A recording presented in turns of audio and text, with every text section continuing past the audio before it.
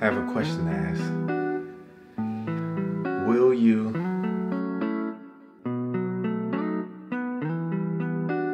do me the honor of joining me and my family for the holidays? Well, at least he's ready to introduce you to his family.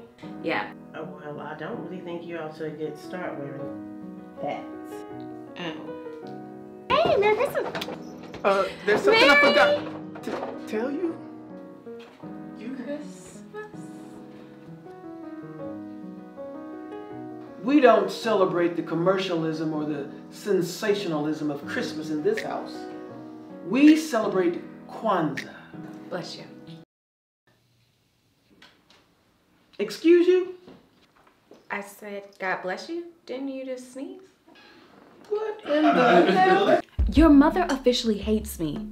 No, you're overreacting. Relax and be yourself.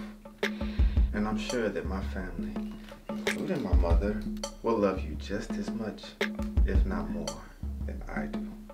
I would like to take a moment on this day of Kwanzaa to family, fellowship, and forgiveness. Oh my gosh, I would love that.